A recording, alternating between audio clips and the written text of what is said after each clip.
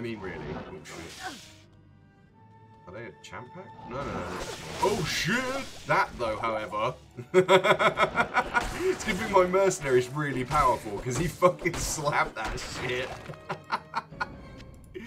oh, I saw my life flash before my eyes. That was fun.